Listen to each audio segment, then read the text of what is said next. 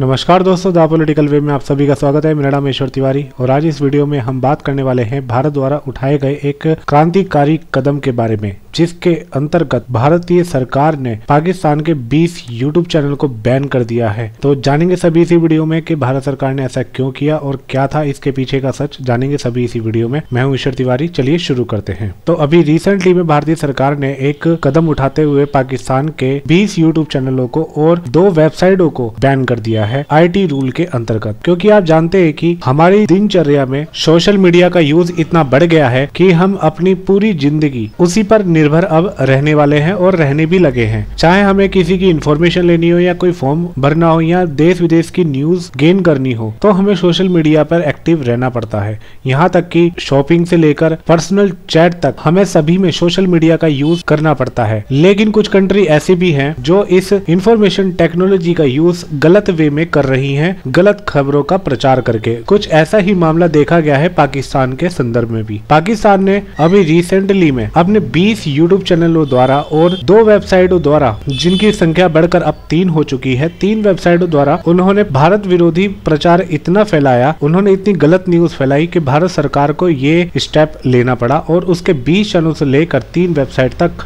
बंद कर देने पड़े आईटी रूल के अंतर्गत। और ये जो डिसीज़न लिया गया है, ये लिया गया है आईटी रूल ट्वेंटी के अंतर्गत। तो अभी रिसेंटली में भारतीय सरकार के मंत्रालय ने जानकारी दी। उन्होंने इसमें बताया कि इंडियन इंफॉर्मेशन टेक्नोलॉजी को सिक्योर करने के लिए इंडियन गवर्नमेंट ने इमरजेंसी पावर अंडर रूल 16 का उपयोग किया है, जिसके बाद intermediary guidelines and digital media ethic code rule 2021 के अंतर्गत इंडियन गवर्नमेंट ने 20 यूट्यूब चैनल और उसके साथ तीन वेबसाइट को ब्लॉक कर दिया है, जिनका ऑपरेशन पाकिस्तान से हो रहा था और पाकिस्तान द्वारा इसको मिसयूज करा जा रहा था भारत के खिलाफ। और ये सब हो रहा था भारत के पाँच राज्यों में होने वाले चुनाव को देखते हुए। इसलिए भारतीय सरकार ने सख्त कदम लेते हुए इन चैनलों पर कार्रवाई करी। भारतीय सरकार ने यहाँ पर जानकारी दी कि इन कंटेंट का उपयोग बहुत ही सेंसिटिव है और नेशनल सिक्योरिटी को हार्म करने वाला है। और इस पर दिखाई जाने वाली जितनी भी इंफॉर्मेशन है, सारी इनकरेक्ट है, जो पाकिस्तान द्वारा पोस्टेड की जा रही है। और ये सारी गलत जानकारियों का नेटवर्क पाकिस्तान के यूट्यूब चैनलों द्वारा और उनकी वेबसाइट द्वारा चलाया जा रहा है, जिसमें पाकिस्तान के 20 यूट्यूब चैनल और तीन वेबसाइट सम्मिलित हैं। अगर मैं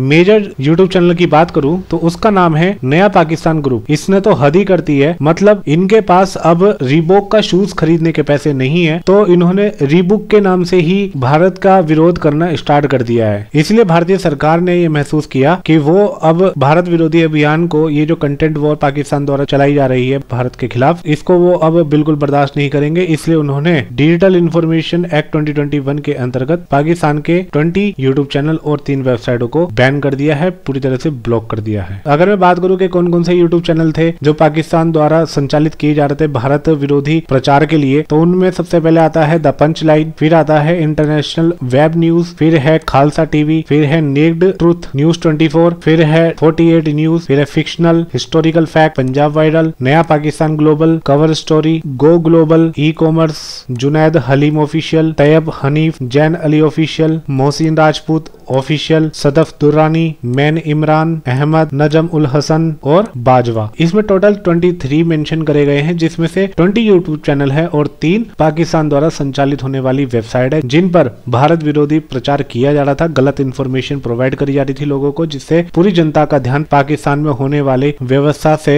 हटाकर भारत की ओर उनका ध्यान आकर्षित करा जाए। ये बिल्कुल ही मिस इन्फॉर्मेशन मिस गाइडेंस है, जो भारत विरोधी प्रचार करके पाकिस्तान यूज़ कर रहा है, क्योंकि वास्तव में उसकी इकोनॉमी इतनी धराशायी हो चुकी है कि पाकिस्तान को वास्तव में कटोरा लेके पूरे वर्ल्ड के सामने अब भीख मांगने पर मजबूर होना पड़ रहा है। रिसेंटली में अभी वो वर्ल्ड बैंक के पास भी गया था लोन लेने के लिए, और उससे पहले उसने अपना हाथ फैलाया था गल्फ कंट्री की ओर। तो पाकिस्तान की अर्थव्यवस्था तो यहाँ पे पूरी तरह चरमरा गई है, अब उसे समझ में तो आ नहीं रहा है कि वो अब कैसे भारत का सामना करेगा। तो उसने अब इन यूट्यूब चैनलों का और फेक न्यूज़ का सहारा लेकर भारत को बदनाम करने की कोशिश करी है। आप देख सकते हैं अपनी स्क्रीन पर, ये है वो यूट्यूब चैनल जहाँ पर मिस इन्फॉर्मेशन प्रोवाइड करी जा रही थी पाकिस्तान के द्वारा। इसमें आप देख सकते हैं कि इन चैनलों पर भारत विरोधी कितनी गलत न्यूज़ का मिस इन्फॉर्मेशन किया जा रहा था और पाकिस्तान की जनता से लेकर पूरे वर्ल्ड में कितना भ्रम फैलाया जा रहा था। भारत के खिलाफ इन न्यूज़ को देखकर, इन पिक को देखकर आप अंदाज़ा लगा ही सकते हैं। तो आई होप आपको ये पूरा वीडियो ज़रूर पसंद आया होगा। मिलते हैं नेक्स्ट वीडियो में। Till then God bless you all take care and Jai Hind